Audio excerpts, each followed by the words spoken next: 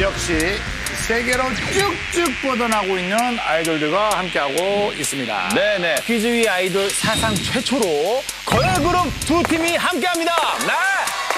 자, 바로 소개 올리죠. 걱정 아련, 몽환 청순, 어떤 컨셉이든 찰떡같이 소화해내는 여자친구 오마이걸.